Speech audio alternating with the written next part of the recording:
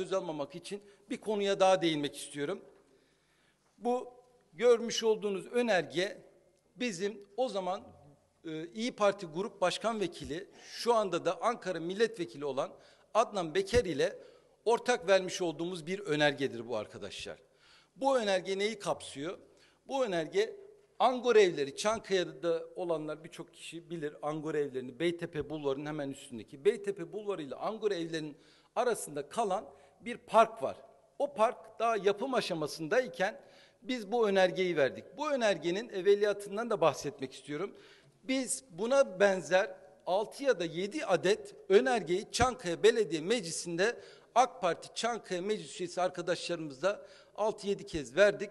Tabi orada e, meclis çoğunluğu bizde olmadığı için sadece orada muhalefetlik yapıp söz alıp bunu eleştirdik. Bizi hep oyaladı ve topu taca attılar.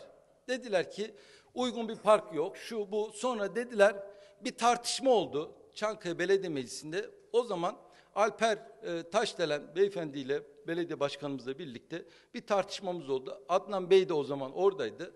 Dedik ki ortak AK Parti grubumuzla birlikte ortak bir e, karar aldık.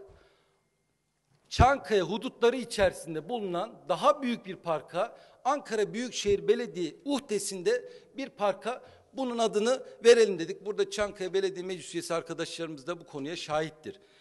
Biz bu önergeyi bu şekilde verdik. Bu önerge e, Ankara Büyükşehir Belediye Meclisi'nde komisyonda oy birliğiyle geçti.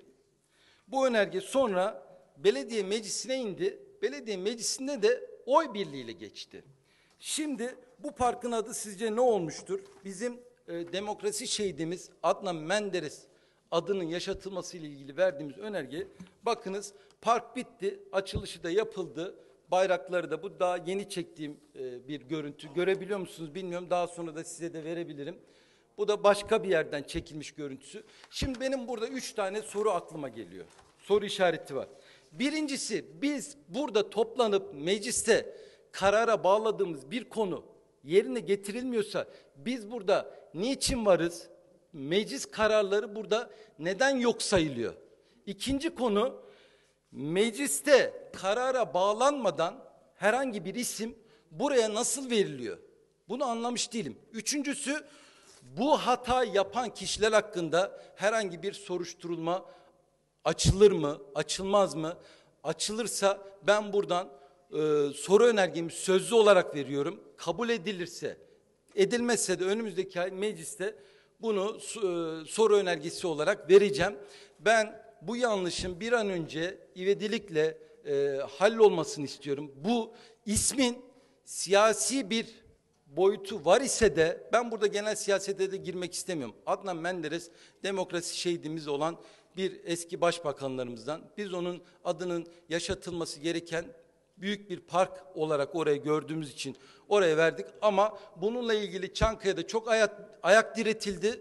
Burada da diretilmesini istemiyoruz ve buradan meclisten geçen bir konunun yerine getirilmesini e, talep ediyorum. Beni dinlediğiniz için de teşekkür ediyorum. Sağ olun.